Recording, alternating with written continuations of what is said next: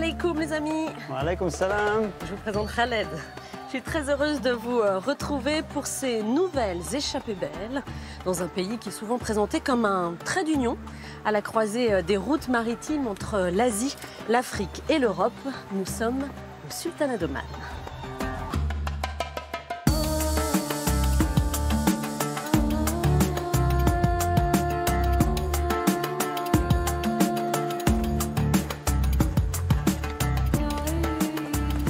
C'est magnifique ici. hein.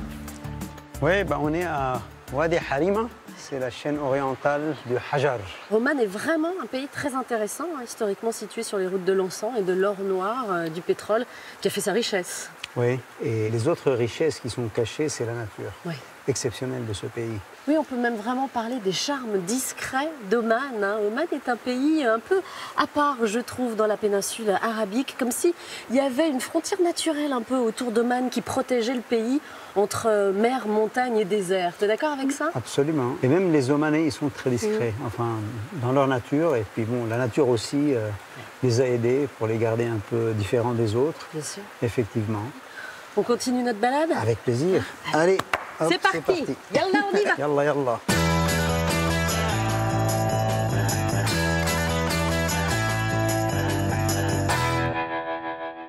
Au Sultanat d'Oman, Sophie Jovillard s'immerge dans la carte postale.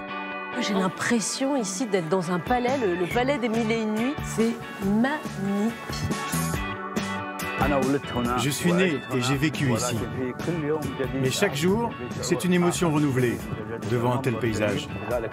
Le désert est magnifique. Mais derrière la carte postale, il y a des hommes. Beaucoup de gens pensent que dans le golfe, on a tous des puits de pétrole dans le jardin. Ok, j'en ai quelques-uns. Il y a un monsieur qui est un ami qui veut te dire bonjour. Bonjour. Et bien sûr, il y a des femmes. On a monté ce club spécialement pour encourager les femmes omanaises à faire de la plongée.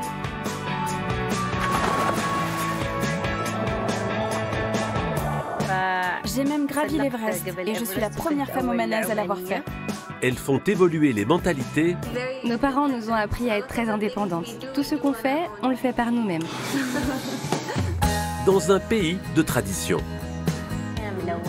C'est du mouton qui a été préparé de façon traditionnelle. Alors ça, c'est vraiment la générosité hein, des cuisinières romanaises. C'est vraiment le, le- le sens du partage et de l'accueil. Devenir chef ici dans le Golfe, avant c'était difficile. Et c'est vrai, dans notre culture, les hommes ne cuisinent pas. Peu importe comment tu l'appelles, président, ministre, général, chef de cuisine, tout le monde s'en fout. Une échappée omanaise. Alors on va où maintenant?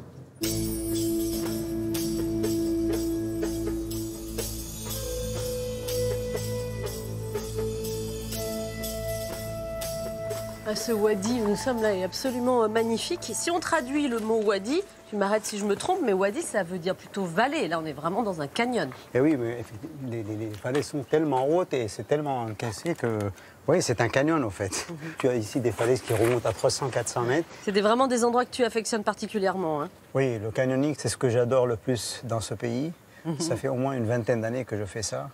Et donc avec euh, la famille et des, et des amis. Et euh, je trouve vachement ludique parce que c'est pas un chemin vraiment bien établi. Tu dois trouver ton chemin, tu dois passer entre les chaos. Donc tu nages, tu grimpes, euh, tu sautes, tu marches. Donc c'est vraiment au- autre chose. Hmm, Alors, en ce moment, il n'y a pas beaucoup d'eau à Oman, donc on va se contenter de la randonnée pédestre.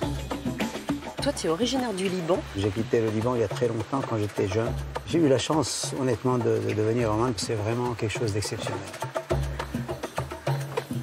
Ben Voilà, regarde, ça c'est l'ancien village de Harima. Les habitants ont déserté le village, là, aujourd'hui? Ouais, ouais, ils sont partis en ville Ouais. à la recherche d'électricité et puis de l'eau. Et les conditions de vie sont rudes, là, hein, dans le Wadi. Très, très, très, très difficile. Mais j'entends des voix quand même, hein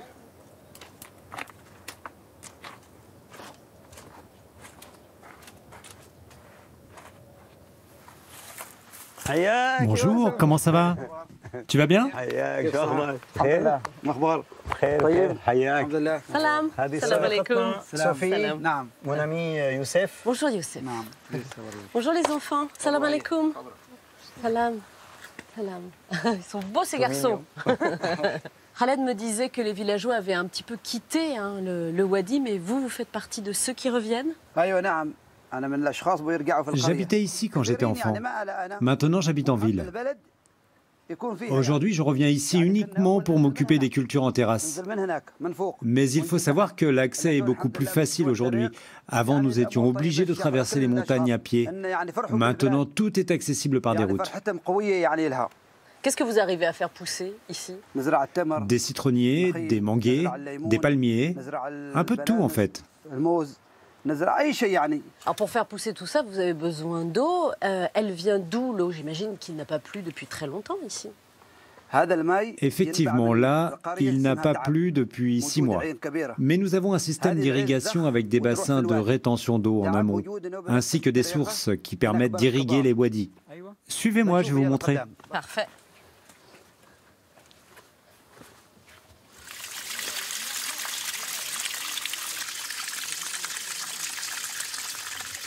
Sophie, tu voudrais t'installer ici? Alors, si je veux m'installer ici, il faut que tu m'expliques le système d'irrigation quand même. Alors, quand le bassin tout en haut est rempli, on ouvre la vanne pour alimenter le canal principal. Puis on irrigue parcelle par parcelle à l'aide de petits barrages et ainsi de suite jusqu'aux terrasses tout en bas. Sans ça, on ne pourra rien cultiver, non? Bah Oui, absolument. Bah, je dirais c'est même le, le, comment dirais-je, comme le sang dans ton corps, hein, avec les, artères et les veines. Donc euh, ça, ça, ramène l'eau euh, aux parcelles et puis euh, sans ça, ben, il n'y a rien qui pousse. On va te laisser travailler, Youssef. Merci beaucoup.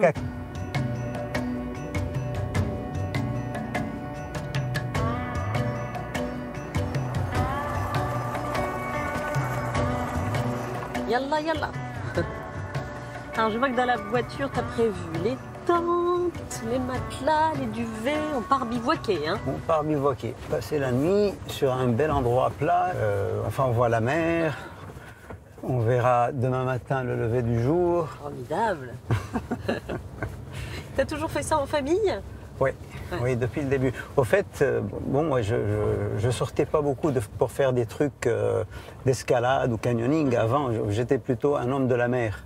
Donc, je faisais de la plongée, je faisais du, surtout du tuba, j'adore ça, parce que j'avais peur du vide.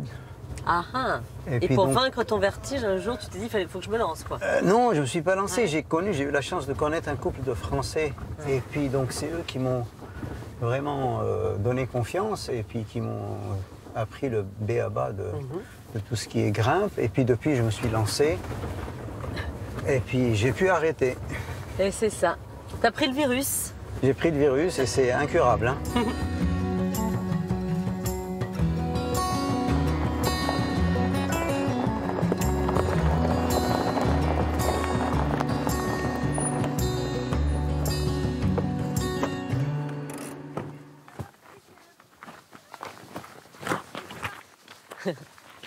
Bonjour, voilà la petite famille. Hello, Martin, Bonjour Martin, ravi de te rencontrer. Ma fille. Mona. Mona. Oh, bah dis donc, on commence tout le camping dans la famille? Eh oui.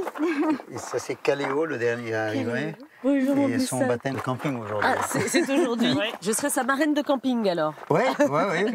Et voilà Et là. C'est quand même pas banal de se retrouver là, euh, tous ensemble, avec cette vue quand même magnifique. quand je disais que j'avais envie d'aventure lointaine euh, entre mer et montagne, là on y est. Hein. Voilà, t'es servi. c'est ça. Voilà, ça c'est ta tente. Ok. Très bien. Ok, et ça c'est euh, la salle à manger. Et c'est camping de luxe, hein ouais, ouais, à peu près. Tu te sens bien, toi, ici à Oman? Martha, on en parlait avec ton mari en faisant connaissance de votre choix de vie ici Oui, bah, 27 ans, euh, c'est qu'on est quand même euh, bien. Ouais, un peu au manet. Oui, oui. Elle vient de la Roumanie. Oui, c'est ça. Du côté euh, hongrois de la Roumanie. D'accord. À quel, Exactement. À quel moment tu as quitté ton pays? À 87. Ouais. Sacrée aventure de vie, hein, tous les deux, entre toi qui as quitté le, Liban. Vous êtes des déracinés qui ont retrouvé des racines ici? Oui, mais je garde quand même mes racines au Liban. Ouais. Ah oui. Mhm. Ça te manque hein, des fois un peu le Liban? Beaucoup. Beaucoup. oui. En espérant que bon, un jour, ça va s'arranger peut-être, puis on va pouvoir rentrer pour de bon, mais bon, on verra. Ouais. Bon. Inch'Allah. Inch'Allah. Profitons de l'instant présent, de voilà, ce moment voilà, qu'on voilà. va vivre ici en famille.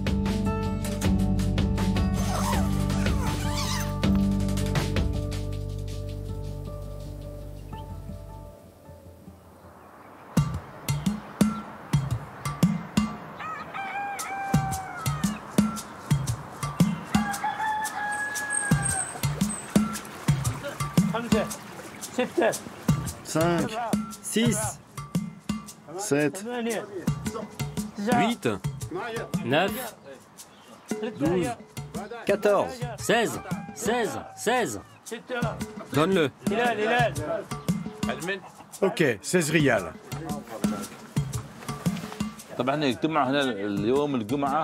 Tous les vendredis, à 13h, on se réunit ici avec tous les fermiers pour acheter des heures d'irrigation aux enchères.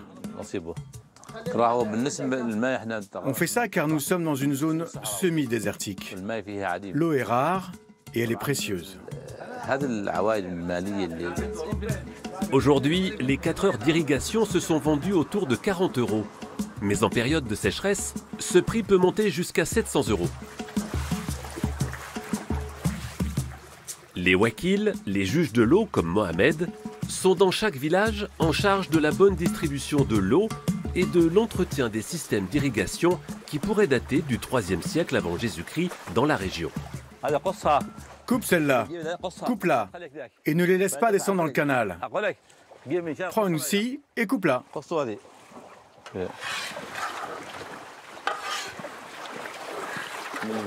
Du début à la fin du canal, il y a environ 50 ouvertures. Alors imaginez si ne serait-ce qu'un litre était gaspillé par ouverture.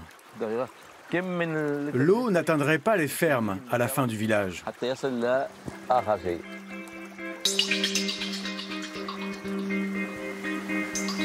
Ces canaux, c'est ce qu'on appelle un falage en arabe. L'eau vient des nappes phréatiques souterraines. Avant, on utilisait cette eau pour irriguer les plantations, mais aussi pour cuisiner, se laver, faire la lessive et pour les ablutions avant la prière.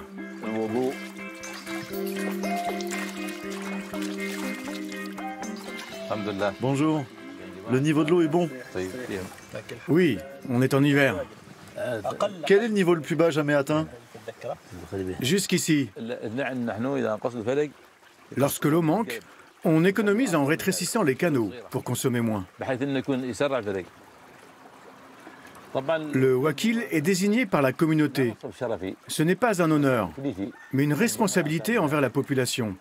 Le wakil est payé 10% des dépenses qu'il fait pour entretenir les canaux. Ça l'encourage à bien remplir sa mission.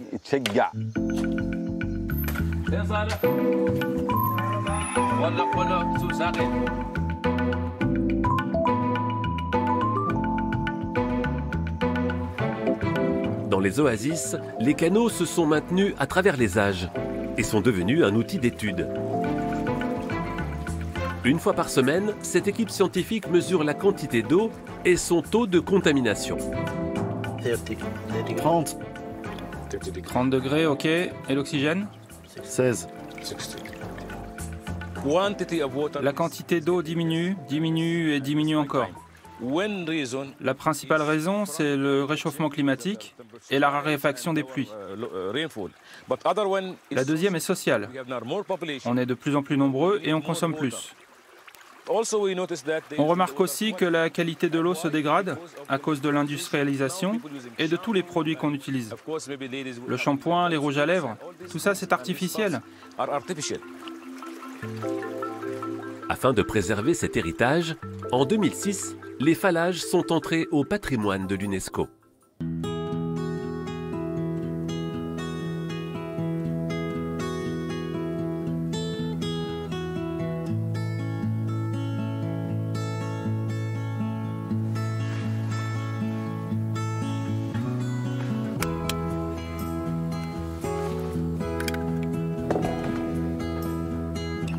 Ça va, Khaled? Ah, très bien. Santé. Oh, bah, L'eau est chaude. c'est royal. C'est toi le sultan d'Oman, en fait, hein Ah non, faut pas dire ça. Oh là là, pardon.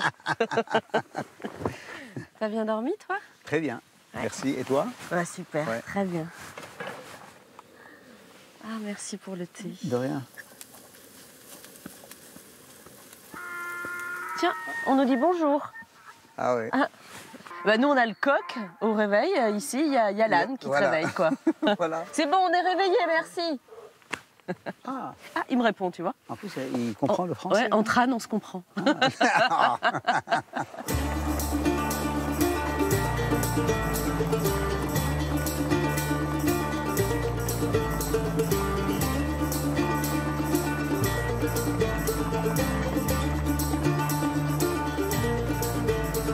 on va arriver à Mascate, la capitale. Très bientôt, on va arriver à Mascate d'ici euh, maximum 10 minutes. Et là, on est entre les deux chaînes, enfin les deux montagnes que tu vois, ça c'est des ophiolites, donc une chaîne qui fait environ 600 km de long sur 75 à 100 km de large.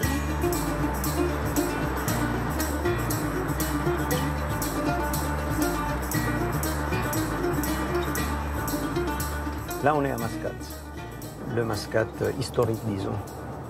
Oui, parce que c'est pas une ville comme on l'entend nous en, en France avec un, un centre-ville.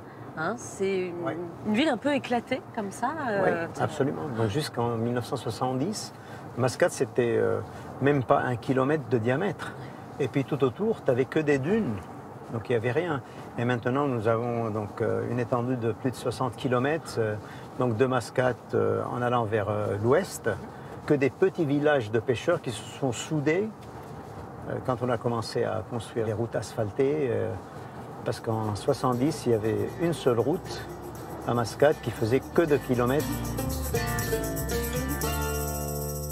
Mais c'est incroyable d'imaginer que ce que tu me racontes, c'était euh, dans les années 50, quoi. C'est assez proche. 50, 60, 60 jusqu'en 70, Ouais, c'est fou. quand le sultan Krabous est arrivé au pouvoir. Et moi, ce qui me frappe là, quand je vois la ville, c'est que les bâtiments sont très bas. Ils sont très bas. Ouais. Il n'y a pas de building.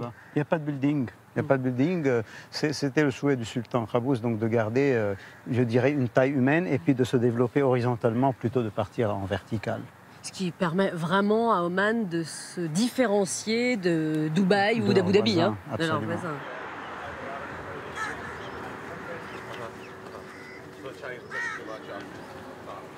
Voilà, là, à droite, on va découvrir le palais du sultan, le palais du drapeau. Ouais. C'est le palais euh, officiel, disons, là où il reçoit. Ah oui, c'est pas son lieu de résidence. C'est pas son lieu de résidence. Alors, il faut quand même que tu me parles en deux mots du euh, sultan Qaboos, qui est euh, le sultan qui a marqué l'histoire moderne hein, du sultanat d'Oman. Il a régné pendant une petite cinquantaine d'années. Oui, ça, pays exactement, 40 49 ans. euh, et puis, euh, on l'appelait Baba Krabous, ça veut dire papa Krabous, parce que tout le monde l'aimait, et puis il le considérait comme le père de la nation. C'est vraiment lui qui a vraiment développé la ville de Mascate, qui a développé le pays, qui l'a vraiment modernisé. Et aujourd'hui, comment s'appelle le sultan actuel? Le sultan Haytham Ben Tariq, qui a continué à avoir la même direction et la même politique de- du sultan Qaboos, c'est-à-dire la neutralité.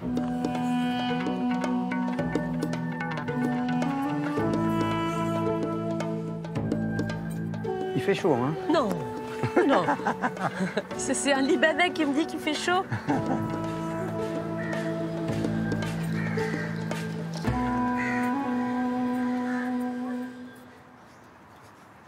Voilà, donc là, on va visiter euh, l'opéra euh, royal de Mascate. Mhm.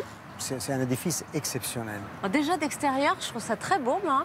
Une Oui. architecture romanaise euh, contemporaine, mais inspirée quand même par euh, l'architecture traditionnelle. hein. Absolument. Ouais. absolument. C'est comment dedans? Là, tu vas découvrir, ce sera la surprise. C'est mon ami Amna qui va tout expliquer. Avec plaisir.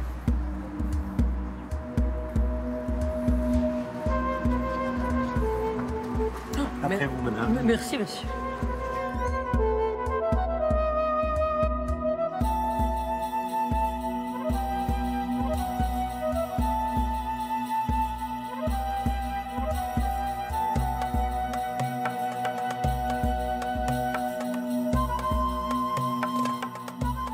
Bonjour, Salam bonjour. alaikum salam, Sophie. Bonjour. Tu parles français, Oui, Amina oui, oui. Enchantée. Enchantée, ravie de te rencontrer. Ça va euh, bien, Amina Bonjour, Khaled. J'ai l'impression ici d'être dans un palais, le, le palais des mille et une nuits. C'est magnifique. Oui, c'est un lieu euh, assez unique. Euh, C'est le premier opéra royal de les pays du Golfe. En fait, le but de, de construire cet opéra royal, c'est de découvrir tout ce qui est culture des autres pays à travers les spectacles qu'on présente. Donc, c'est pourquoi notre saison est très variée. On a de l'opéra, du jazz, tango, flamenco, ballet, donc euh, De la musique arabe. de la musique arabe. Euh, Est-ce qu'on a le droit de voir la salle? Il n'y a pas de représentation Oui, ce bien moment? sûr. Non, aujourd'hui, non. alors, on, alors on te suit, Amina. Allez.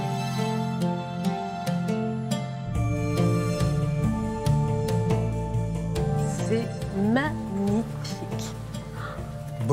le choc. Oui, voilà. plein les Superbe.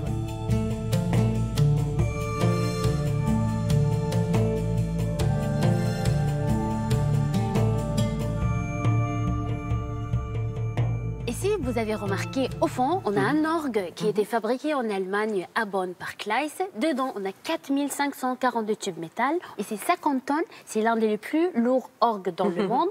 Et on peut le bouger. Donc, on peut l'avancer et la reculer. Et ça bouge sur des rails comme un train. Et ça, c'est vraiment quelque chose d'unique. Cet opéra manquait euh, ici à, Mascate, à Oman. Il n'y avait jamais eu un endroit culturel aussi important. Ah Oui, je dirais même à la région, ça manquait. Et c'était vraiment le premier endroit tellement majestueux et tellement euh, important, je, dirais, du, du point de vue artistique. Et puis, bon, juste les, les noms qu'ils attiraient. Donc, c'est quand même Placido Domingo. euh, Oui, les plus grands passent par ici. pour Ouais. l'ouverture de, de- de- de l'opéra. C'était vraiment un événement exceptionnel.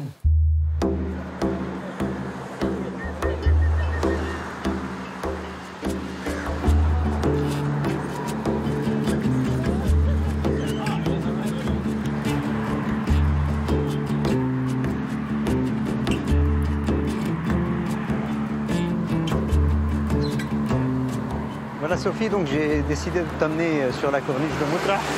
Un très bel endroit en fin de journée avec les gens qui se baladent.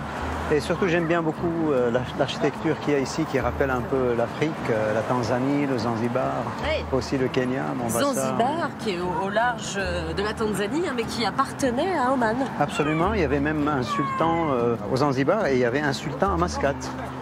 Donc il y avait deux jusqu'en 64 quand il y a eu la révolution. Un beau lieu de promenade, merci encore de m'avoir accompagné. Voilà, bah écoute, taille bien là-bas et puis comme on dit chez nous au Liban, donc ça veut dire salut. Ok, et peut-être bon voyage. Ouais. Ouais, merci. Allez, ciao.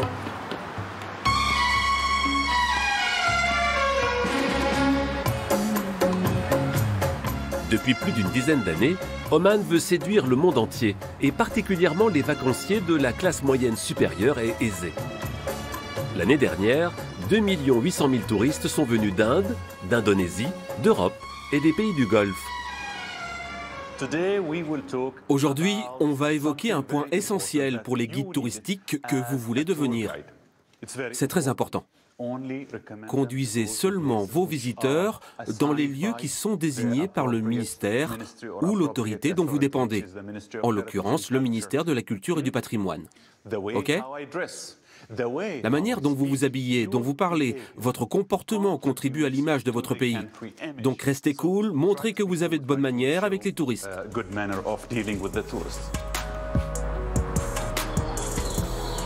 Le département tourisme de l'université accueille environ 700 élèves. En 2014, quand le prix du pétrole a chuté, on a réalisé qu'on devait sérieusement songer à diversifier notre économie. Cependant, ces dix dernières années, il y a eu de la résistance.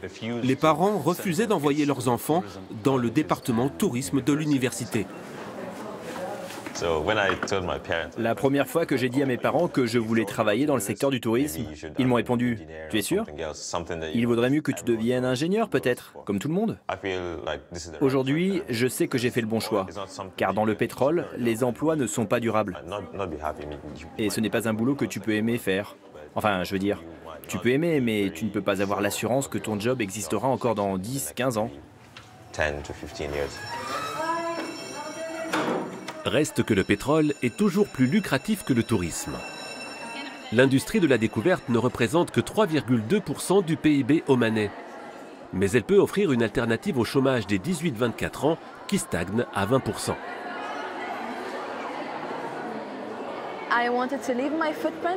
Je suis dans le tourisme pour laisser mon empreinte. Parce que je suis une femme, je veux encourager d'autres femmes à faire pareil, sans avoir honte. Dans notre culture, beaucoup de gens sont un peu fermés d'esprit.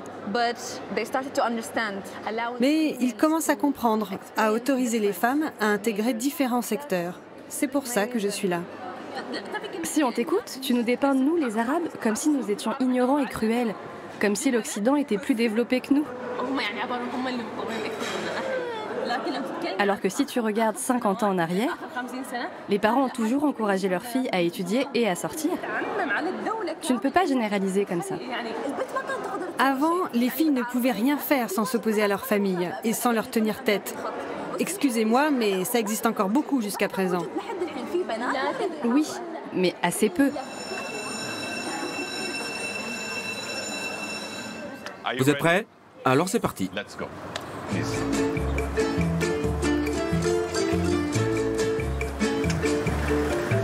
À Oman, leur professeur est le guide des présidents. George W. Bush, Nicolas Sarkozy. Depuis 25 ans, il est dans le métier. Aujourd'hui, il accompagne ses élèves citadins à la découverte de leur pays. Vous êtes des guides, vous êtes des créateurs d'expériences. C'est vous qui créez les expériences pour les touristes. Comment? Vous les faites participer. Comment on porte le turban omanais, par exemple?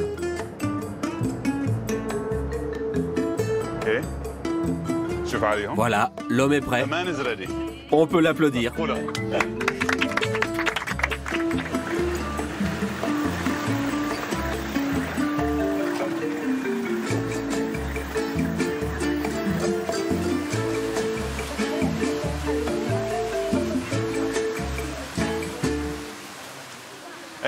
Excusez-moi, d'où venez-vous? De Pologne? J'ai de nouveaux amis omanais pour vous. Allez, ils vont vous en dire plus sur l'endroit. Écoutez, échangez avec eux, mélangez-vous, posez-leur des questions. Vous passez un bon moment avec les poissons autour de vos jambes qui mangent vos peaux mortes? C'est super comme voyage. On est allé à plusieurs endroits, d'autant qu'en ce moment en Pologne, il fait moins 5. Faire le plein de soleil, c'est un luxe bien appréciable. C'est sûr que ça me fait sortir de ma zone de confort, car en général, je n'aime pas trop parler aux gens. Mais ça m'aide à être plus avenante. C'est aussi une chance, car il faut dire que pour les jeunes, c'est pas facile. Pour accéder à certains emplois, il faut faire de longues études supérieures, que certains étudiants ne peuvent pas s'offrir, et ils finissent chauffeurs de taxi, de bus ou commerçants. Et le tourisme est une industrie qui se développe.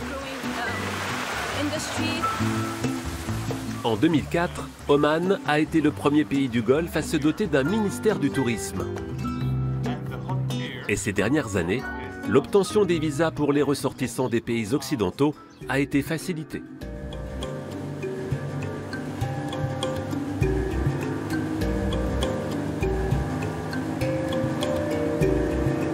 Ça ressemble à une journée pleine de surprises avec toi, Di. Oui, absolument. Je voulais vraiment te montrer le lever du soleil ici, à bord de ce bateau. C'est une formidable occasion de le voir. Et c'est également un endroit merveilleux pour faire de la plongée.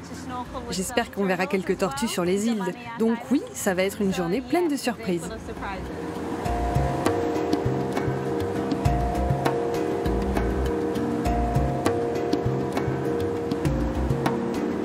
De pouvoir plonger avec toi. En plus, toi, tu as un club de plongée avec un esprit bien particulier. Oui. On a monté ce club spécialement pour encourager les femmes omanaises à faire de la plongée. C'est un endroit où elles peuvent venir faire de la plongée dans un lieu magnifique et en toute sérénité. Ça veut dire que sans ça, sans ce genre de club, les femmes se sentent pas trop à l'aise de venir faire de la plongée, de se mettre en maillot de bain ou en combinaison de plongée avec des hommes? Oui, nous vivons dans une société où les hommes et les femmes peuvent vivre de façon éloignée. C'est culturel et elles se sentent plus à l'aise si un club est encadré exclusivement par des femmes. Bon, les petites tortues nous attendent. Oui, tout à fait. Tu es prête? Allons-y.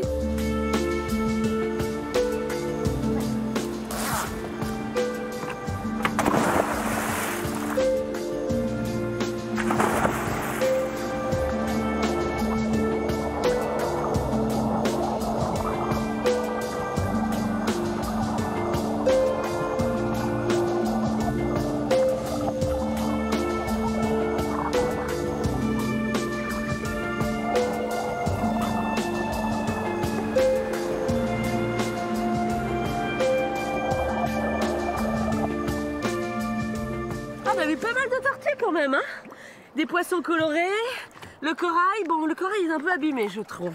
Est-ce que toi qui plonges euh, souvent, tu as vu euh, une modification des, des fonds marins là autour de ces îles? Cet endroit a toujours été très peuplé par la faune sauvage. Le corail a toujours été magnifique. Mais au fil du temps, il s'est dégradé. Ajoutez à cela les tempêtes et l'augmentation des températures, la faune maritime a changé et le corail a commencé à mourir. C'est honteux.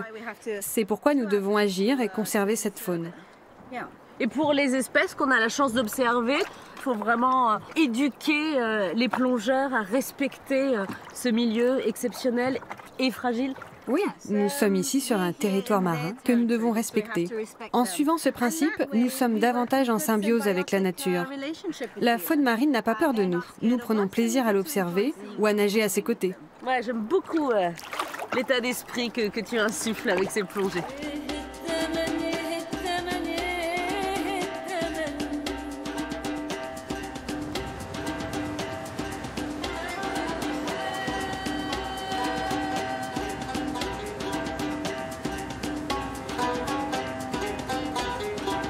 Merci Di pour la plongée, c'était super sympa. Hein.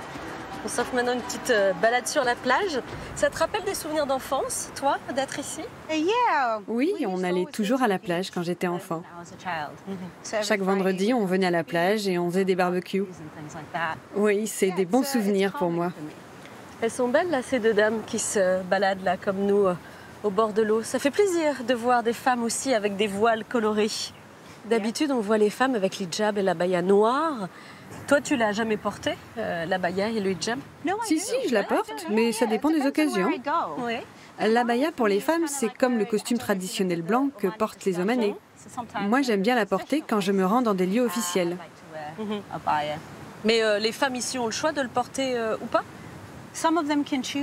Certaines peuvent choisir et en font un vêtement à la mode. Et d'autres la portent pour des raisons religieuses. Mais d'une façon générale, les femmes ont le droit de la porter ou pas. Mais elles sont plus à l'aise avec. Sophie, si je t'ai fait venir sur cette plage, c'est pour que tu rencontres mes amis. On a l'habitude de venir ici après la plongée pour pique-niquer. C'est sympa.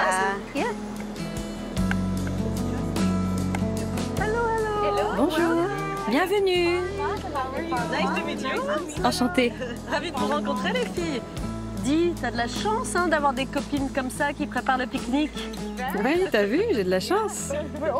Et nous, nous sommes chanceuses d'avoir dit à nos côtés. Qu'est-ce que tu fais là? C'est du halwa. C'est une recette à base de dattes, de safran, d'eau et de rose. C'est ce que l'on cuisine pour les occasions spéciales. On veut que tu goûtes la meilleure recette qui soit. Bah dis donc. Est-ce qu'une tasse de thé te ferait plaisir? Euh, Oui, ah bah, je croyais que c'était un petit cubit de rosé, mais en fait non, c'est du thé. It's, it's not wine, it's tea. No, it's not. je vous dis, c'est bizarre. oh, c'est bon.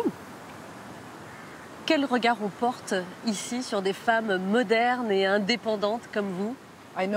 Nous avons la chance d'avoir beaucoup de droits, mais pour vivre une vie de femme moderne, ça demande de relever plusieurs défis. Et d'être assise là, comme nous sommes toutes les trois, libres, sans voile, après avoir vécu à l'étranger, sans être mariées. D'une certaine façon, nous vivons comme des femmes modernes. Mais ce ne serait pas honnête de dire que c'est le cas de la majorité des femmes. Toutes les femmes n'ont pas le privilège d'être libres comme nous. Toutes ne sont pas soutenues par leur famille, toutes ne sont pas indépendantes financièrement. Elles n'ont pas le choix de pouvoir vivre leur vie. Et ça fait du bien de faire partie de ce changement. Mais oui, c'est un défi, car tout le monde ne tolère pas les femmes modernes.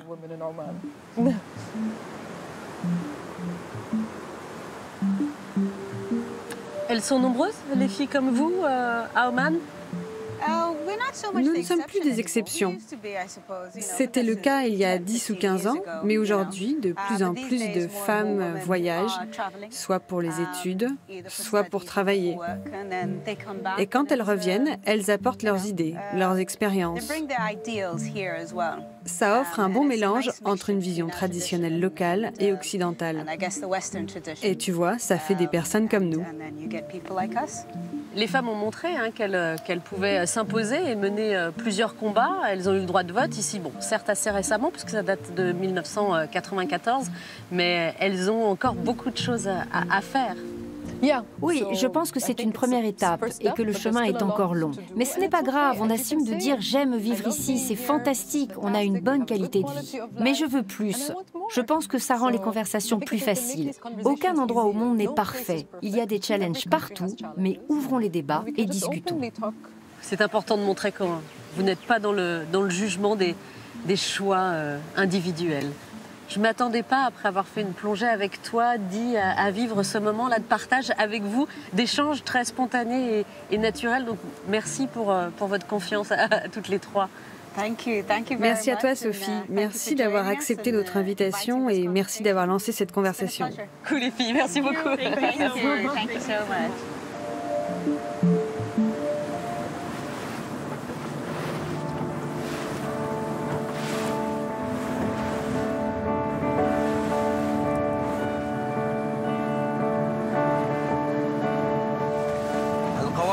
Ces bateaux au loin viennent d'Iran. Ils arrivent à Oman avec du bétail dans leur cale. Et ils repartent de chez nous avec de l'électroménager ou de l'AIFI.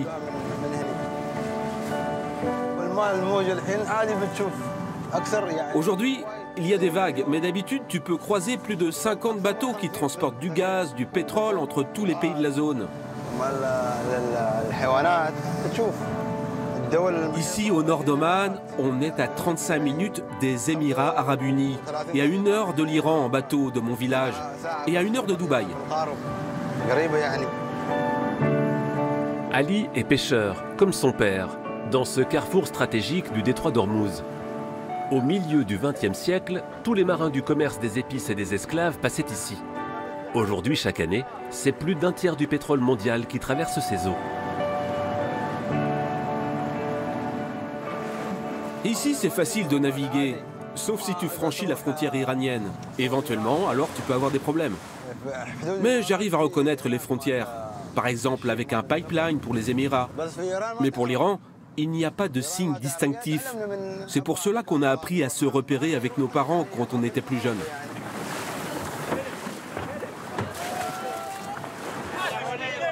Ici, dans le royaume légendaire de Simbad le marin, le poisson est abondant pour cause, la pêche industrielle est interdite dans tout le sultanat et les eaux sont riches en plancton et en sardines qui nourrissent les bancs de thon.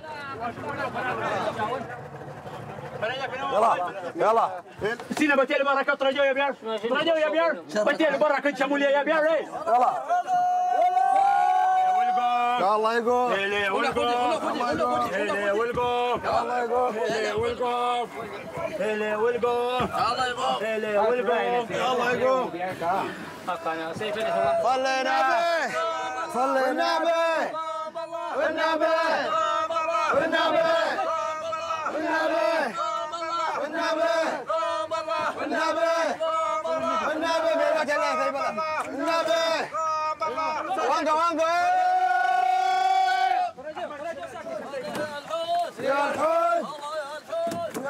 Dans notre chanson, on demande à Allah de nous donner du poisson pour nous donner la force, comme nos grands-parents le faisaient. La pêche miraculeuse partira d'abord à Kassab, la grande ville de la région, puis à Dubaï, avant d'inonder le marché asiatique. Les pêcheurs en tirent 10 à 15 euros le kilo et se partagent le butin. C'est une bénédiction d'Allah. On est épuisé, mais quand on a autant de poissons, on est heureux. Si tu veux être heureux, tu dois te fatiguer. Pour rien au monde, je ne quitterai la mer.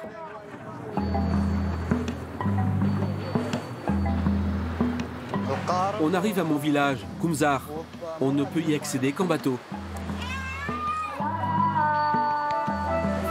4500 personnes habitent Kumzar pendant l'hiver. L'été, il fait trop chaud. Toutes les familles s'installent à Kassab. Comment c'était la pêche avant? Avant, on ramenait le poisson sur la plage, puis on le salait pour le vendre aux Irakiens et aux Iraniens. On parle le Kumzari, Cette langue est unique à ce village.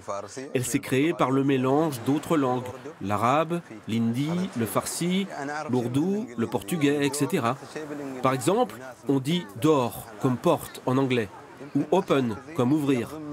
La langue est née parce que des navires commerçants du monde entier faisaient halte ici. La légende raconte que cette langue serait née car les marins qui commerçaient de par le globe venaient se ravitailler en eau douce ici, à l'unique source de la région. Ainsi, le Kumzari mélange plus de 45 langues. Par exemple, le chiffre 2 se dit comme en français.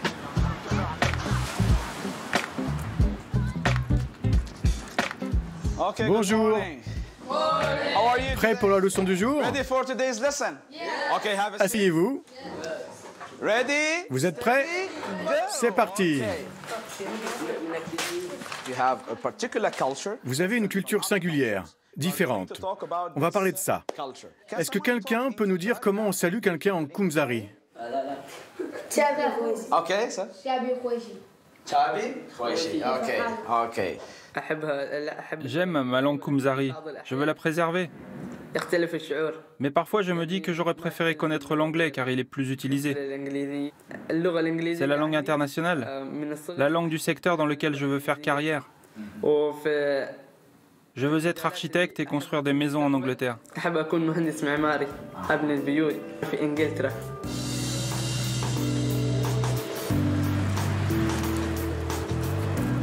Aujourd'hui, le Kumzari est considéré comme gravement en danger par l'UNESCO.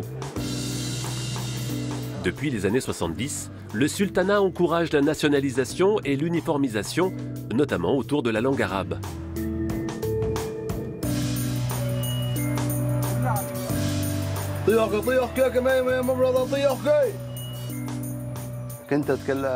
Je crie en Kumzari.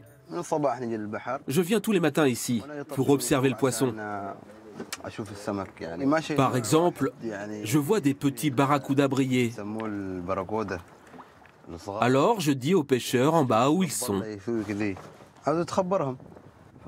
Je n'abandonnerai jamais ma langue Kumzari. Et je compte bien l'apprendre aux enfants de mes enfants.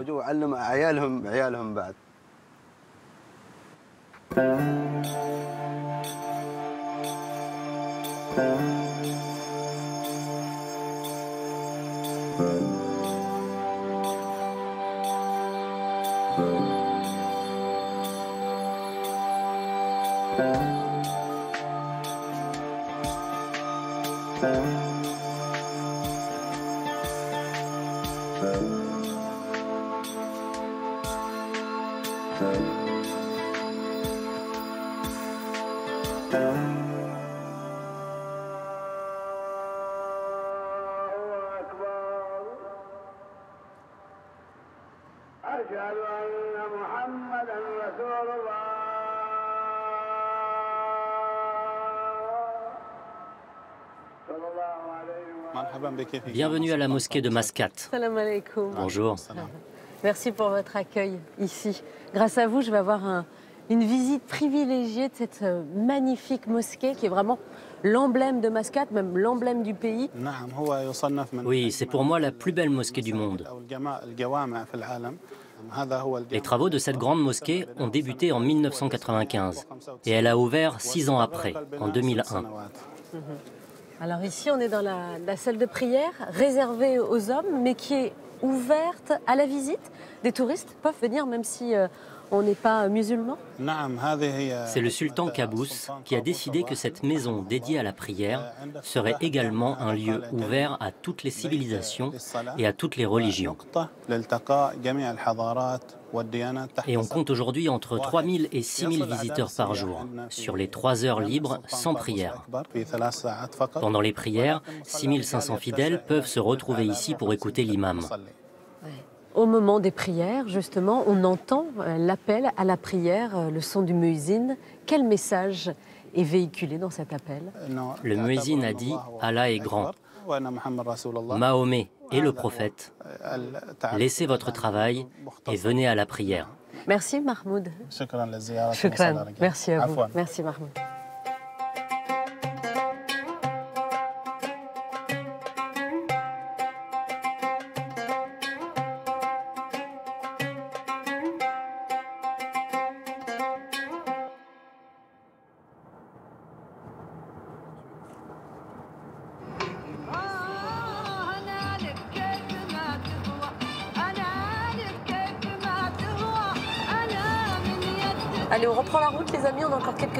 À faire. J'ai très envie de vous présenter une jeune femme extraordinaire qui s'appelle Nadira. Elle nous attend dans son village qui s'appelle Al Moudayrin. On y va.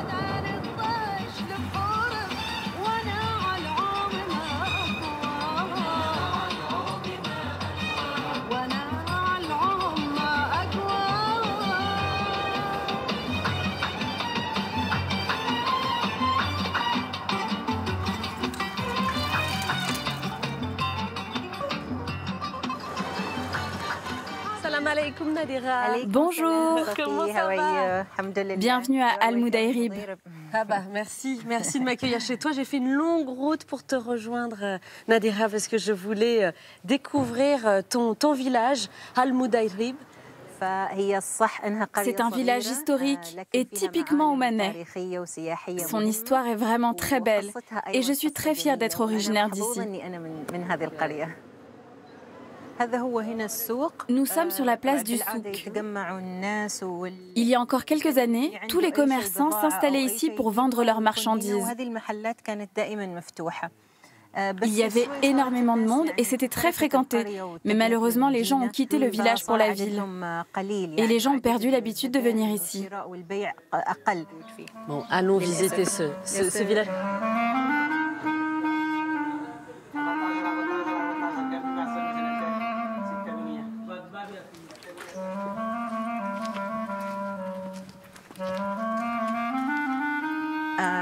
Je me souviens que quand j'étais petite, on n'avait pas le droit de venir ici. Avec mes amis, on partait à l'aventure dans le village et on se prenait pour des explorateurs. Tout le monde se prêtait au jeu, filles comme garçons. Ce sont de formidables souvenirs, même si nous étions terrorisés à l'idée de se faire attraper.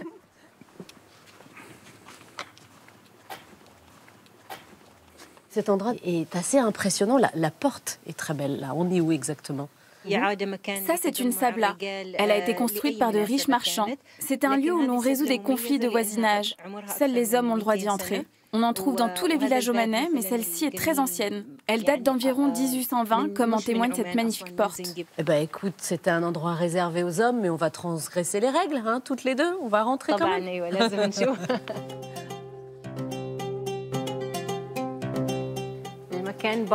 Grâce à l'épaisseur de ces murs, l'endroit reste frais.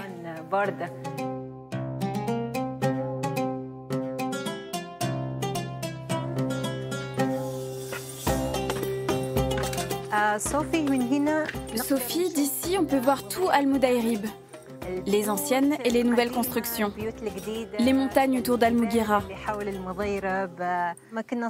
Et tu vois ces tours, quand on était enfant, on montait tout en haut. Regarde ces montagnes.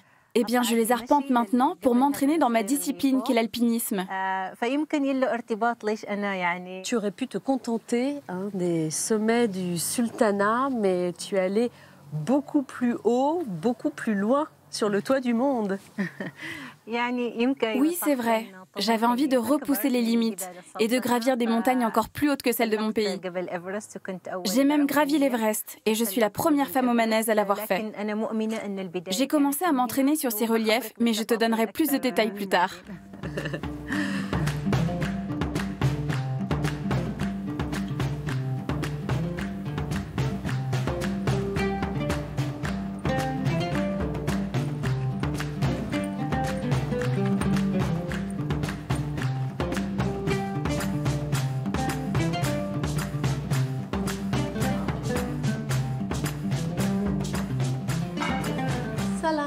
Bonjour tante Radija, je te présente Sophie.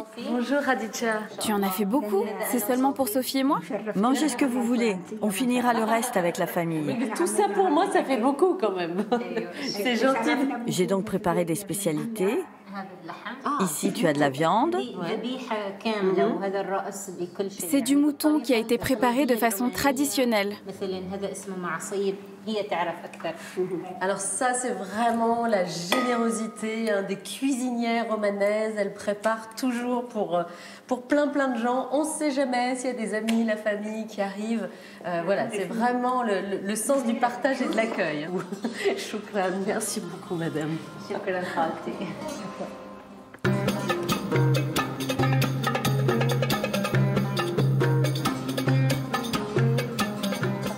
je vais te servir. Ça, c'est du kabouli avec de la viande. Et ça, ça c'est du ah, massaonif. Ah, c'est un petit pain garni de viande. On l'appelle aussi le burger romanais. On va manger un petit peu, parce qu'on va faire quelques kilomètres à pied toutes les deux. Parle-moi un petit peu du, du programme que tu as préparé pour nous. Demain, on va à Jebel Shams. J'adore cet endroit. C'est là-bas que je me suis entraînée. J'y ai ressenti de la joie, parfois de la douleur dans l'effort, beaucoup de sentiments différents. J'espère que tu vas aimer cette balade. Je vais adorer cet endroit, j'en suis sûre. Et ça sera le décor absolument parfait pour me parler de, de ta passion de la montagne. Merci pour ça.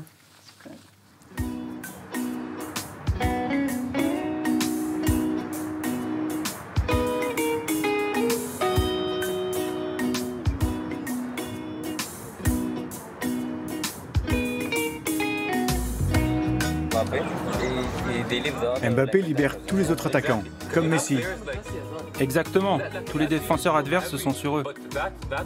Nawaf, l'aîné, et Leyam, la cadette, sont frères et sœurs. À partir de l'âge de 9 ans, et ce jusqu'à l'université, les classes ne sont pas mixtes. Ce que je préfère vraiment, c'est le week-end. C'est quitter l'école et enlever mon uniforme. Il est long, il est lourd, et l'été on crève de chaud dedans.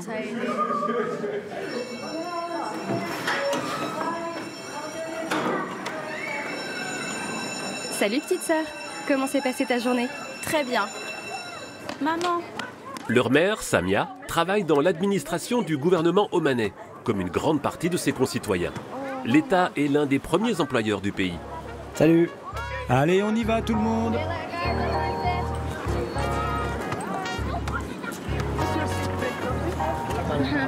En dernière heure, on devait avoir anglais, mais la prof était absente.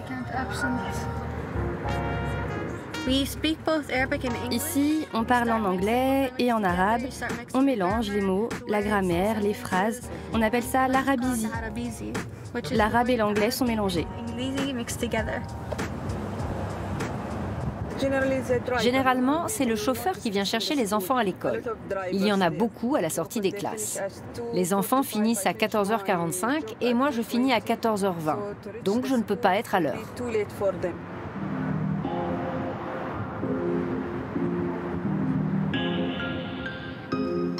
Les après-midi sont libres, chacun va qu'à ses occupations.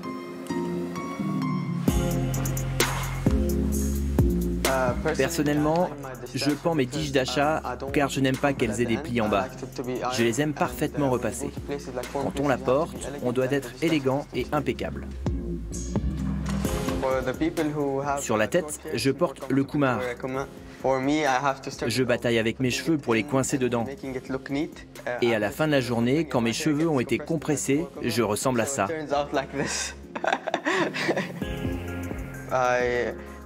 Dans ma vie, j'essaye d'équilibrer. J'ai mes jours traditionnels et ceux où je porte une tenue plus sport, avec un sweat, un jeans et des baskets. Nawaf aimerait travailler dans le tourisme. Son père, Zaran, est lui dans l'industrie pétrolière.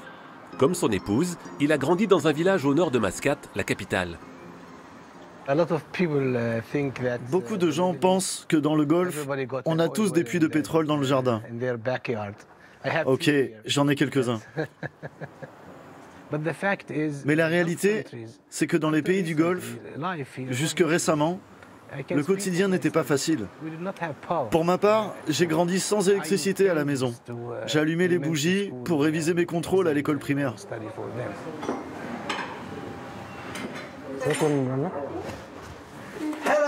Salut, comment ça va? Bien, bien.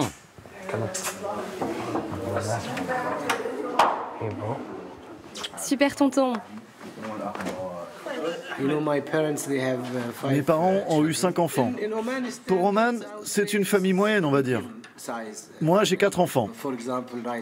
Les familles se réduisent de plus en plus. Ça doit être le standard international.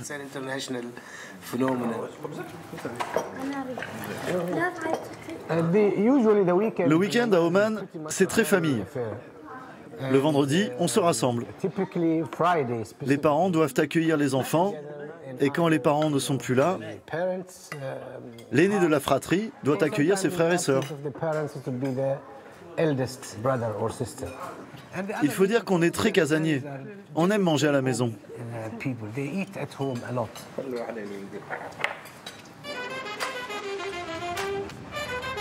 S'ils restent à la capitale pour le week-end, s'ils ne vont pas dans la maison de famille, au village ou dans la résidence secondaire sur la côte, beaucoup de familles passent du bon temps dans les malls, les centres commerciaux de la capitale. Il y en a partout.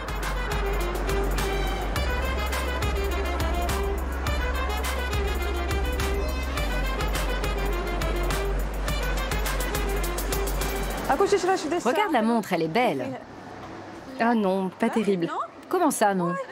J'aime pas. Ah oui, toi, tu préfères ce genre de choses.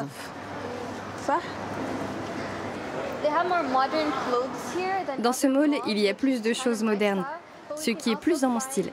Mais on peut aussi trouver des tenues omanaises modernes ou traditionnelles. Pas traditionnelles, mais du genre de la baya de maman. Oui, plus arabe, quoi.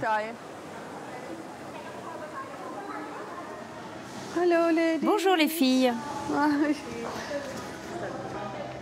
D'où viens-tu, très chère Du Pakistan. J'aime quand le henné va jusque-là. Vraiment Même pour mon mariage, je n'en ai pas voulu. Moi non plus. Au début, mon mariage était un mariage arrangé. Mais avec Zaran, avec qui on est cousins, on s'est parlé. Moi, je voulais une vie plus moderne, être mariée avec quelqu'un qui ne me restreindrait pas, genre fais ci, fais ça. Et lui, il était ouvert d'esprit. Alors je me suis dit, c'est ma chance. Et maintenant, ça fait 23 ans qu'on est ensemble et c'est un mari incroyable. Vraiment, il l'est.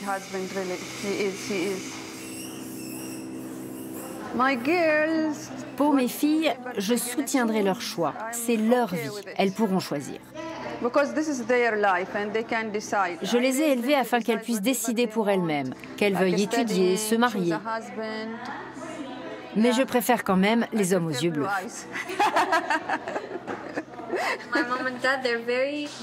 Nos parents nous ont appris à être très indépendantes. Tout ce qu'on fait, on le fait par nous-mêmes. Et alors ton futur mari, il sera comment? Mon futur mari? Plusieurs maris, plusieurs mariages. Liam va tout changer. Aujourd'hui, les hommes peuvent avoir quatre femmes. Enfin, s'il y a une vraie raison, du genre la première ne peut pas avoir d'enfant ou elle est tombée malade. Moi, si mon mari prenait une autre femme, je lui ferais la peau.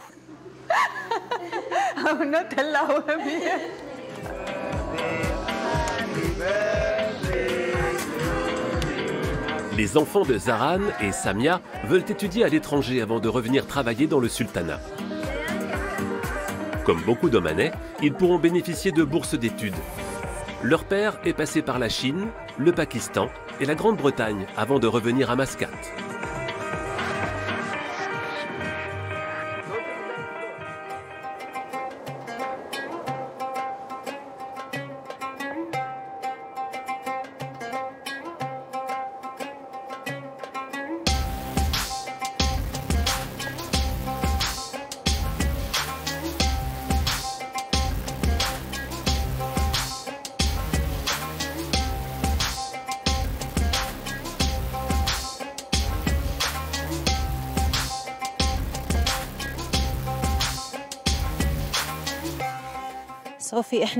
Sophie, nous sommes à Jebel Shams, l'un des plus beaux endroits d'Oman.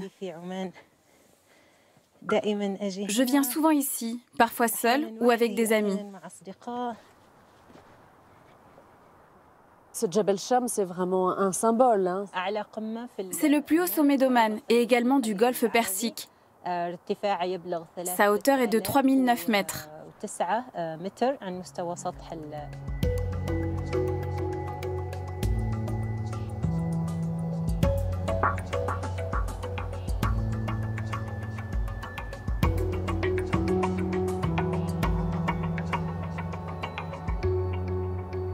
Tu as vécu une expérience absolument extraordinaire. J'aimerais bien que tu me la racontes. En 2019, j'ai gravi l'Everest et j'étais la première femme omanaise à le faire, neuf ans après la première ascension d'un alpiniste omanais.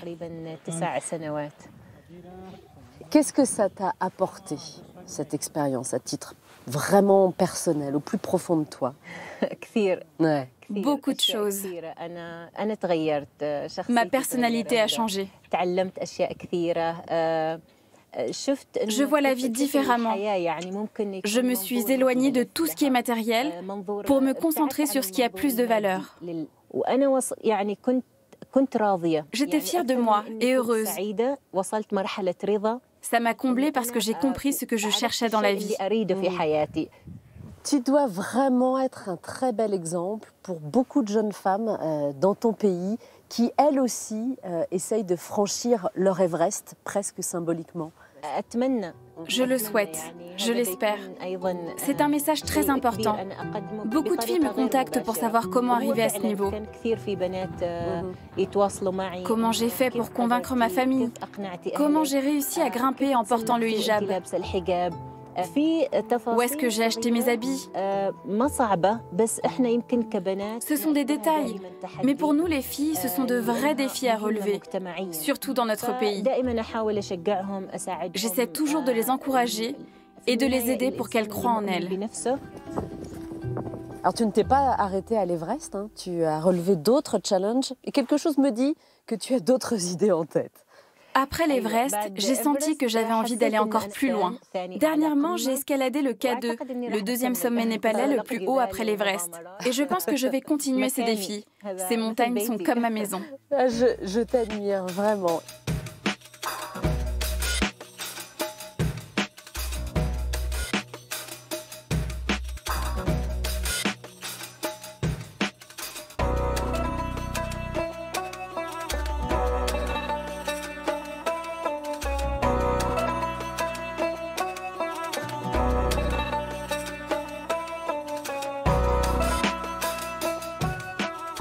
Là là, Nadira. Oh là là, on se sent vraiment toute petite là. Cet endroit est magnifique pour se balader. Là, si tu regardes sur le côté. Oh là là, oh là là, qu'est-ce que c'est beau. Là, tu peux apercevoir une petite piscine naturelle. Là, on ne commet pas d'imprudence hein, en venant ici. On suit vraiment un sentier balisé. Hein. Oui, ici c'est un sentier balisé utilisé par les bergers.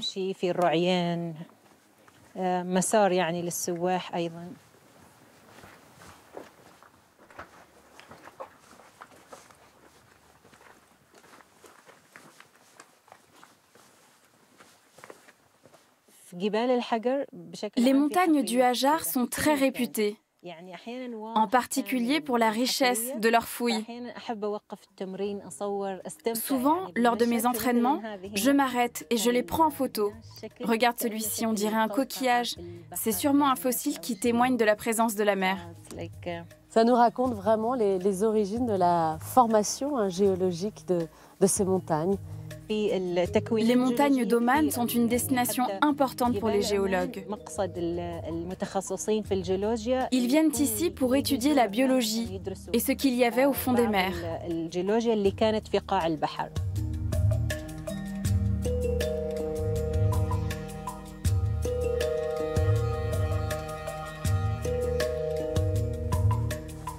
Vraiment, merci beaucoup Nadira de m'avoir amené jusqu'ici. C'était vraiment un, un cadeau euh, de pouvoir admirer ces magnifiques paysages. Et je suis vraiment très heureuse d'avoir euh, pu faire ta connaissance. J'espère que nos routes se recroiseront euh, un jour. Et puis je vais te suivre sur les réseaux sociaux pour pouvoir admirer tes prochaines aventures. J'étais très contente d'avoir vécu tous ces beaux moments avec toi. Et j'ai été heureuse de te faire découvrir une petite partie d'Oman. je te souhaite de relever encore plein de défis, mais surtout prends bien soin de toi. Hein. Fais attention à toi.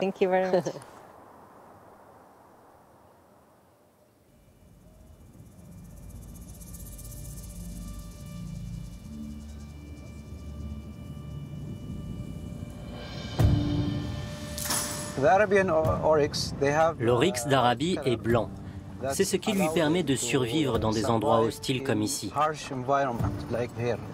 Le blanc réfléchit les rayons du soleil.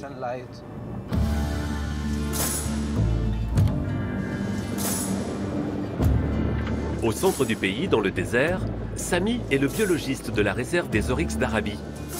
Plus de 28 000 hectares dédiés à cet animal totem de la péninsule arabique. Ils peuvent survivre sans boire pendant très longtemps. À l'état sauvage, ils se nourrissent uniquement le matin avec les gouttes de rosée sur la végétation.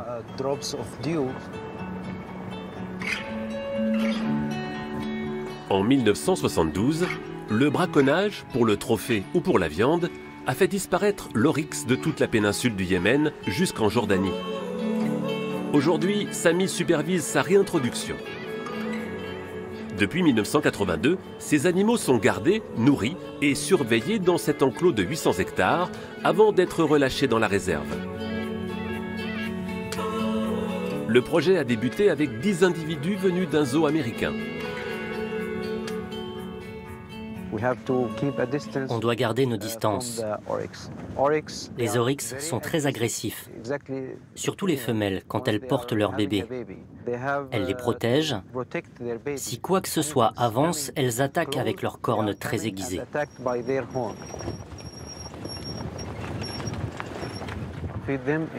Vous allez les nourrir et me dire si vous voyez qu'un des leurs a un problème. D'accord?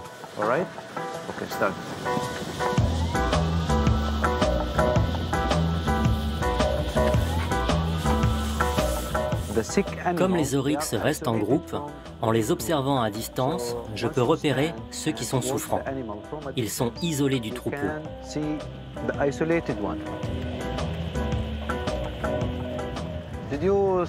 Vous n'avez vu aucun malade de votre côté? Tout va bien alors. Merci. En 2007, la surface de la réserve a été réduite de 90% pour la prospection pétrolière autour de la réserve.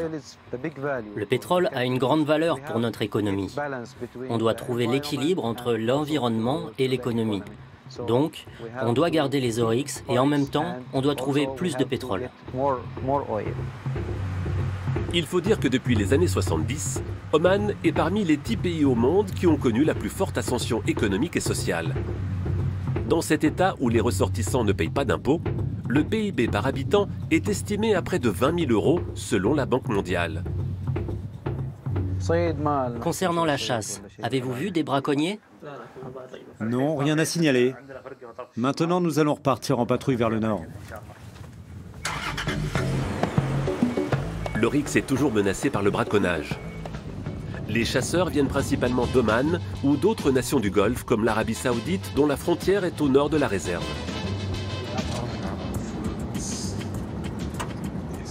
Il y a une gazelle.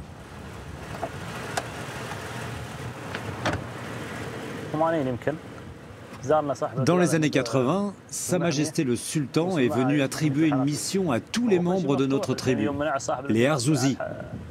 Il nous a ordonné de veiller sur les oryx et de lutter contre le braconnage.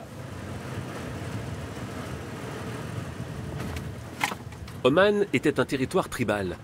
En distribuant les responsabilités, le pays souhaitait construire une nation et non un amoncellement de tribus. Cette arme, ce M16, nous l'utilisons lorsqu'on voit des chasseurs. On a le droit de tirer un coup en l'air pour l'effrayer et le faire cesser. Après, s'il prend la fuite, on n'est pas autorisé à lui tirer dessus. Les braconniers sont passibles de 5 ans d'emprisonnement et 12 000 euros d'amende.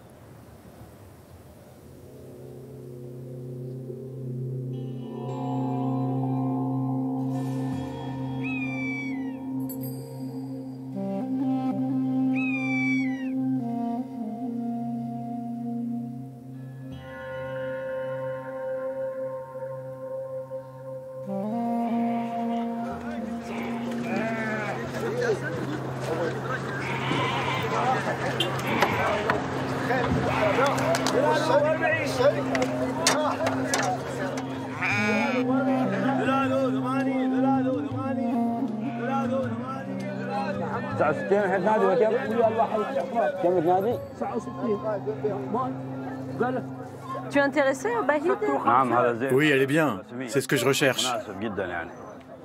57 rials. 58. 59. 60 rials. Passe. Tu t'arrêtes? Plus que ça, c'est trop cher. Ce marché, il est important pour la région? Oui, c'est le souk de Bidiya. Il a lieu tous les mardis. Il est très ancien. Depuis 30 ans, le marché aux bestiaux se fait dehors. Avant, il y a plus de 100 ans, c'était dans ce bâtiment. Mais on avait besoin de plus de place. Il y a un monsieur qui est un ami qui veut te dire bonjour. Bonjour. Comment ça va? Ça va bien. Alors en trame, on se salue en se frôlant le nez Oui, c'est une tradition chez les Bédouins. Mais on ne le fait pas toujours. Ça dépend. On le fait avec un membre de la famille, de la tribu ou simplement un Bédouin. Plus on se touche le nez, et plus on est proche. Il y a beaucoup de coutumes. D'accord.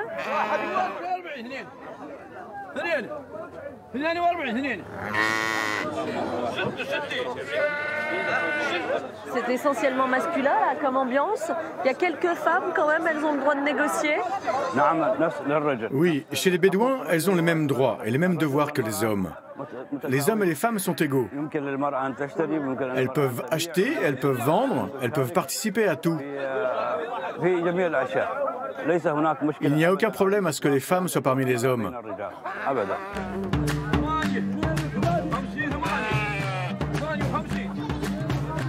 La paix soit sur vous.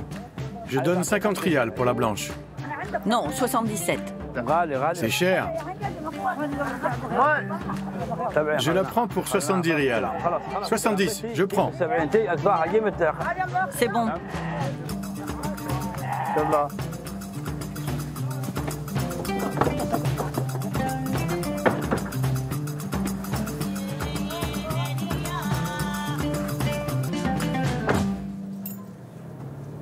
Maintenant Nous allons dans le désert. C'est ma maison. J'ai monté un camp bédouin touristique pour continuer à vivre dans le désert. La vie des Bédouins a bien changé. Tu représentes vraiment la génération intermédiaire entre euh, la vie nomade euh, des Bédouins et la vie moderne? Aujourd'hui, je bénéficie de la vie moderne. Je me déplace en voiture, je vais sur Internet. Toutes ces choses sont accessibles. Mais je suis très chanceux car plus jeune, j'ai pu vivre la vie des anciens bédouins. Une vie nomade, faite de voyages. Une vie très rude, car la température peut monter à plus de 50 degrés dans le désert.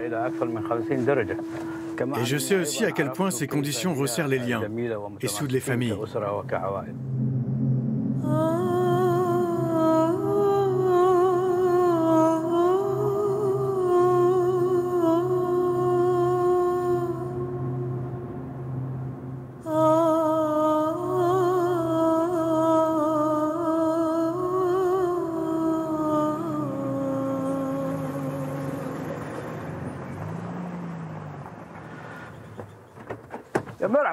Bienvenue au camp, Sophie. Merci.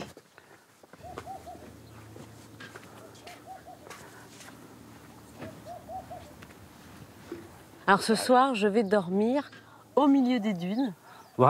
Tu vas te reposer, au calme. Parfait. Tu vois, il y a deux types de tentes bédouines. Celle en tissu, plus chaude pour l'hiver, et celles-ci sont pour l'été. L'air circule et il y fait plus frais. Je vais te présenter mon épouse. Elle est avec des femmes qui font du tissage traditionnel.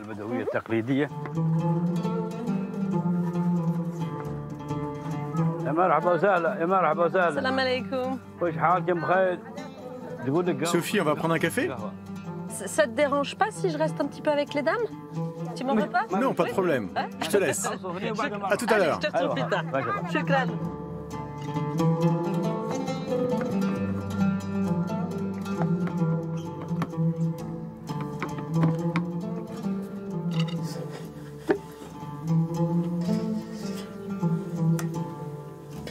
Qu'est-ce que tu as préparé là, Marilla?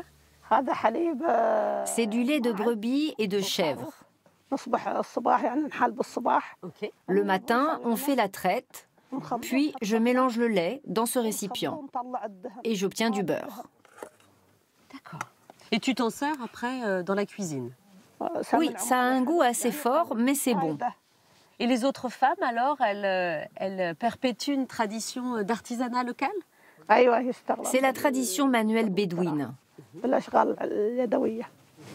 Avec le fil, on fait des tapis comme ça. Ou des sacs. C'est beau tout ça. Des bracelets. Je crème. Ah, alors, il faut, que tu, il faut que tu me parles de ça. Il faut que tu m'expliques. C'est la burqa des Bédouins, la burqa de la tribu Waïba. À partir de, de quel âge tu as porté ça, toi Quand je me suis mariée. Si tu n'es pas mariée à 20 ans, tu dois la porter. Au début, j'ai eu peur. C'était difficile. Petit à petit, je m'y suis habituée. Et qu'est-ce qui te faisait peur? C'était nouveau, j'étais timide. J'avais besoin de temps pour m'habituer, car je me suis mariée jeune. J'avais seulement 15 ans. Pour moi, c'était un peu difficile. Mhm. Ce n'est pas ton choix, j'imagine, de te marier à 15 ans? Comment tu l'as vécu? Chez les Bédouins, avant, ce sont nos parents qui nous mariaient, sans demander notre avis.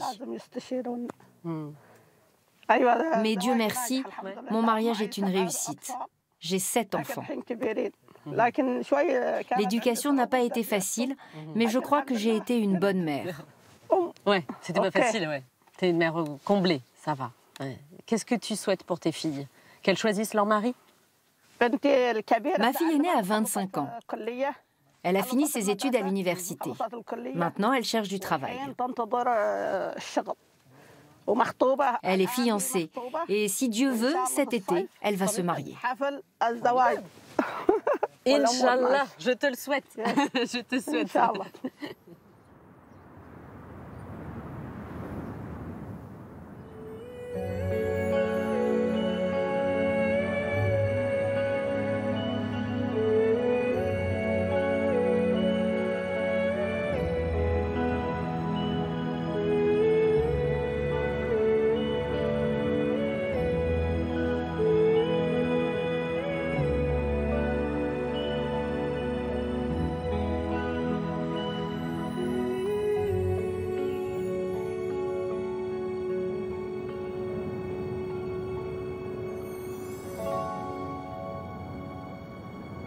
On est fouetté là par, euh, par le vent et le sable, mais ça fait un bien fou euh, d'être ici. Je suis né et j'ai vécu ici. Mais chaque jour, c'est une émotion renouvelée devant un tel paysage. Le désert est magnifique. Au moment du coucher du soleil, on découvre la variété des couleurs du sable. C'est pour ça que je veux rester ici. Je me sens libre. Le désert, c'est toute ma vie.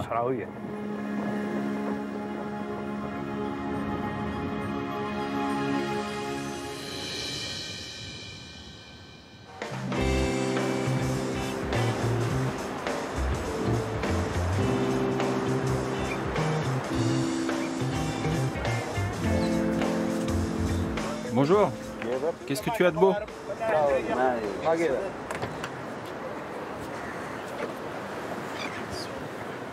C'est mon endroit. J'ai grandi ici, dans ce quartier, avec ma famille. Oman est presque une île. Donc on a toujours du poisson et on aime venir au marché pour l'avoir frais. Mais pour ça, il faut venir tôt le matin. Bonjour. Ça va, chef?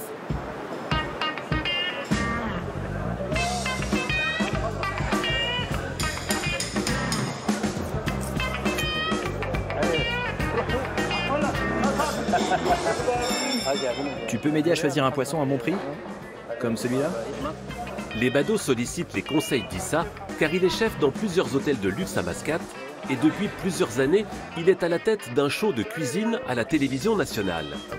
Il a même cuisiné pour le précédent sultan. La culture du poisson nous vient des plongeurs qui pêchaient les perles fines au Xe et XIe siècle.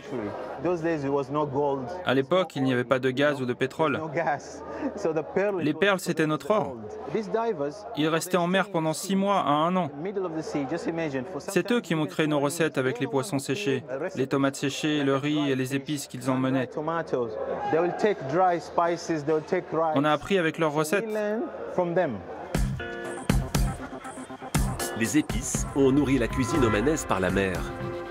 D'Inde, du Pakistan ou d'Iran, les marins commerçants ont toujours transité par le sultanat. Bonjour. Bonjour. Comment ça va? Ça va bien. Bien la santé? Qu'est-ce que tu aurais pour que je fasse un bon halwa, la sucrerie omanaise? J'ai de la cardamome, c'est la meilleure. Très bien, ça me va.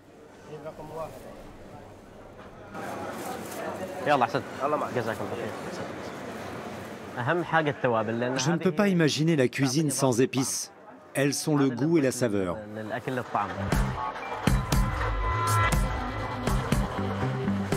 Ahmed est l'artisan de la gourmandise la plus prisée d'Oman, le halwa.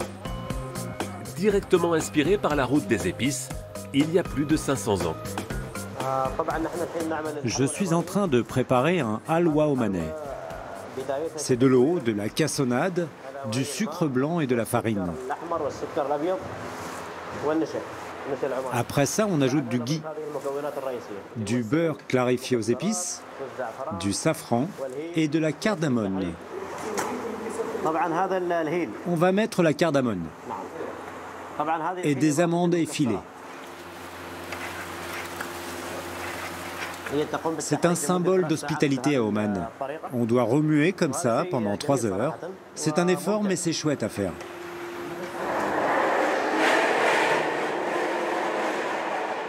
Ces dernières années, le gouvernement a régulé cette production. La juste quantité de sucre, pas plus, sans arôme artificiel ou colorant. Un contrôle qualité afin de prétendre à l'appellation halwa. Une façon de ne pas dénaturer ou dégrader la qualité de la recette traditionnelle. Chaque jour, nous produisons une tonne de halwa. Pour les occasions spéciales, le week-end, l'Aïd, les mariages, ça monte à deux tonnes.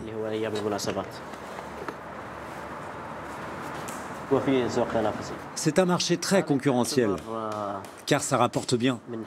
Il y a des ingrédients de prestige, comme le safran. Le safran, c'est notre diamant.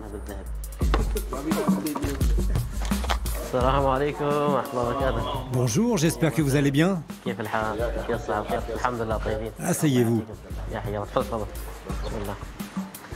Ce halwa est fait avec du lait de chamel. Et celui-là, c'est le traditionnel avec un peu de noix et du safran. Et celui-ci, il est fait avec du miel. Vendu entre 5 et presque 30 euros le kilo, le halwa est toujours servi avec le café, en signe d'hospitalité. Le halwa au lait de Chanel, c'est le meilleur pour moi. Quand j'étais jeune, il n'y avait que deux types de halwa. On en mangeait tous les jours sur le chemin de l'école.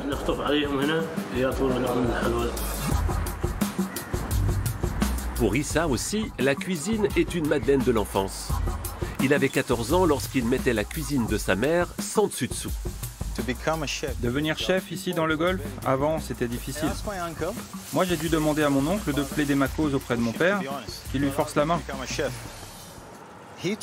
Et il m'a dit quelque chose de très important. Dans le futur, des gens ne te respecteront pas et tu dois l'accepter. Et c'est vrai, dans notre culture, les hommes ne cuisinent pas. Peu importe comment tu l'appelles, président, ministre, général, chef de cuisine, tout le monde s'en fout.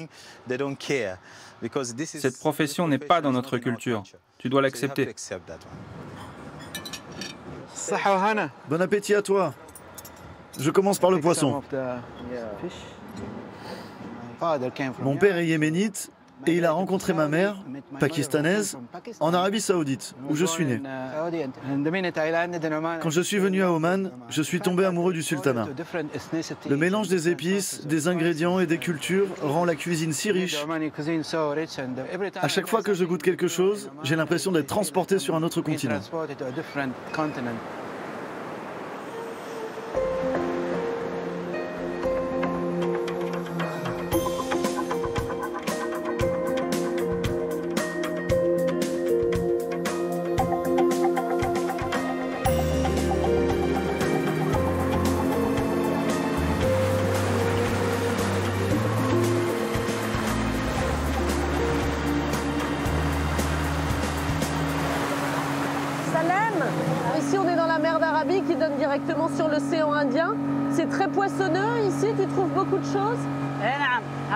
Oui, ici, on pêche un peu de tout.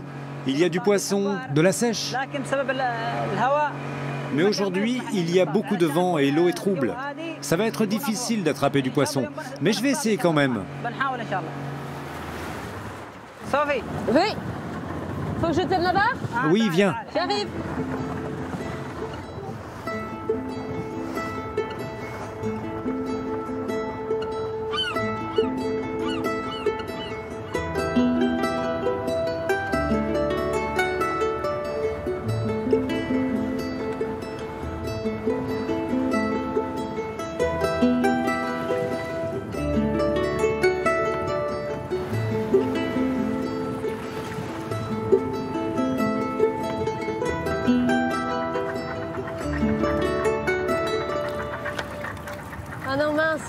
sont vides. 1, 2, 3. Il y a trop de vent. On n'aura rien aujourd'hui. C'est pas grave. Je vais t'emmener sur mon île et te montrer où je vis. J'espère que ça va te plaire.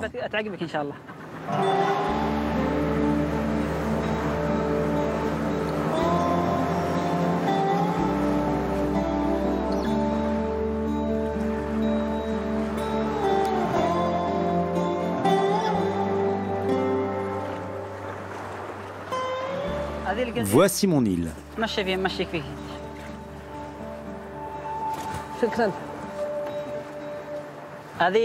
Bienvenue sur l'île de Mahat.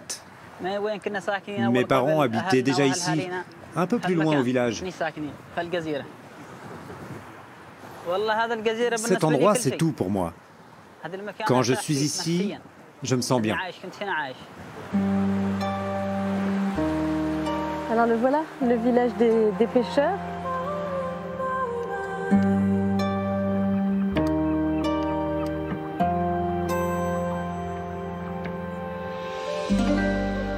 Voilà Sophie, on est arrivé chez moi. Et voici le bateau que mes parents utilisaient pour aller en mer. Des fois, on partait à la pêche pendant une semaine entière. Une semaine Des fois même deux. Aujourd'hui, tu, tu sors le matin et tu rentres le soir Oui, on part le matin et on revient au coucher du soleil. Et tu espères à chaque fois revenir avec euh, combien de kilos de poissons? Avant, j'avais de la chance. Je pouvais ramener jusqu'à 100 kilos de poissons par jour. Mais maintenant, il y a de moins en moins de poissons. Je ramène 30 ou 40 kilos seulement. Ça diminue régulièrement. Allez, viens, on va se mettre à l'ombre.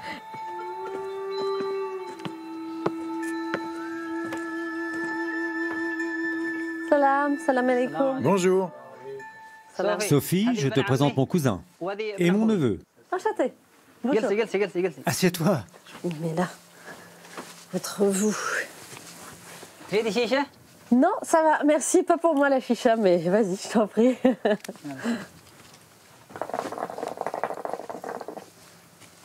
Qu'est-ce qui te convient dans cette vie alors? J'aime cette vie car c'était celle de mes parents. Je me dois de perpétuer ce qu'ils m'ont transmis. Et puis cet endroit est tellement paisible. Je suis heureux.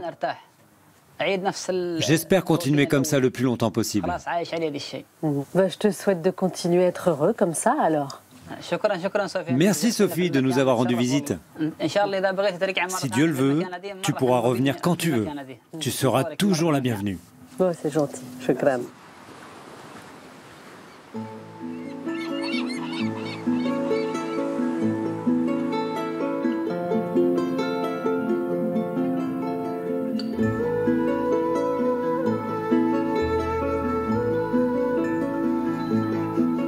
Avant de vous quitter, je voulais euh, vous offrir encore quelques vues sur le Jabal Sham, qui est vraiment un de mes coups de cœur euh, de ce euh, voyage. Je voulais remercier toutes celles et tous ceux qui ont eu la générosité de m'accueillir ici, à l'image de Khaled, qui a ouvert la voie de ces échappées belles, d'Obaïd, le gardien du désert, ou encore de Di ou Nadira, qui ont vraiment des parcours exceptionnels. Entre le bleu de la mer d'Oman, les ocres du désert ou les contrastes des wadis ou de ces montagnes, je suis sûre que tous ces paysages seront satisfaire votre curiosité de voyageur si vous aussi vous avez euh, la chance de venir ici un jour.